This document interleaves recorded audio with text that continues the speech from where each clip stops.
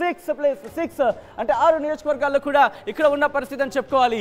ఎవరు బాద్షా కాబోతున్నారు? తెలంగాణ బాద్షా కౌన్ బనే వాలా హై? ఇదే ఇప్పుడు ఇంట్రెస్టింగ్ టాపిక్ ఒక్కసారి రైట్ సైడ్ చూస్తున్నారు బీఆర్ఎస్కి సంబంధించి నలభై సీట్లలో ఇక్కడ లీడ్లో కొనసాగుతున్న పరిస్థితి కాంగ్రెస్కి సంబంధించి ఆరు స్థానాల్లో లీడ్లో కొనసాగుతున్న పరిస్థితి.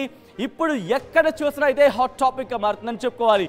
సో మరొక బ్రేకింగ్ మరొక బ్రేకింగ్ మరొక బ్రేకింగ్ అవుతుంది ఒకసారి. ఆ బ్రేకింగ్ న్యూస్ చూసే ప్రయత్నం చేద్దాం. ఇప్పటికే ఎలక్షన్ రిజల్ట్స్ మీద ఒక ఉత్కంఠ కొనసాగుతుంది. తెలంగాణలో ఏం జరగబోతోంది? హరీష్ రావు ముందంజలో ఉన్నట్టు తెలుస్తుంది సిద్దిపేటకు సంబంధించి.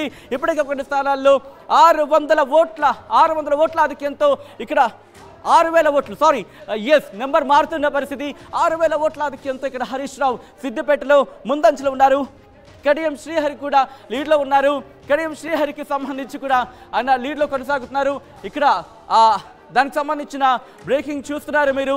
ఇప్పటికే ఈక్వేషన్స్ ఎలా మారుతున్నాయో మనం చూస్తున్నాం.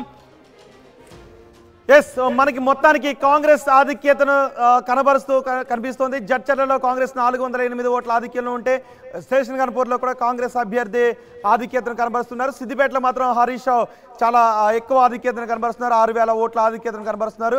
జడ్చర్లలో కాంగ్రెస్కు నాలుగు వందల పైచిలకు ఓట్లు ఆధిక్యతను కనబరుస్తున్న పరిస్థితి కనిపిస్తోంది. ఎంఐఎం ఆరు చోట్ల ఆధిక్యతను కనబరుస్తుంటే బీజేపీ ఆరు చోట్ల ఆధిక్యతను కనబరుస్తుంది. కాంగ్రెస్ అరవై ఆరు చోట్ల ఇట్లా అరవై ఆరు ఆరు ఆరు ఆరు మనకి కనిపిస్తుంది. బీఆర్ఎస్ మాత్రం నలభై చోట్ల ఆధిక్యతను కనబరుస్తుంది. కాంగ్రెస్ లీడ్ మాత్రం అంతకందుకు పెరుగుతున్న పరిస్థితి కనిపిస్తోంది. అటు కరీంనగర్ జిల్లాలో కూడా కాంగ్రెస్ ఎక్కువ స్థానాల్లో ఆధిక్యతకు దిశగా దూసుకు వెళ్తున్న ట్రెండే మనకి కనిపిస్తుంది.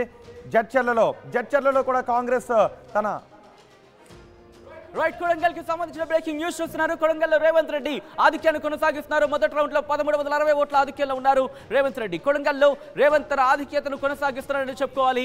అటు కామారెడ్డిలోనూ ఆయన ఆధిక్యాన్ని కనిపిస్తున్న పరిస్థితి మనం కొద్దిసేపటి క్రితం చూసాం. ఇటు కొడంగల్లో కూడా రేవంత్ రెడ్డి తన ఆధిక్యాన్ని కొనసాగిస్తున్నారు.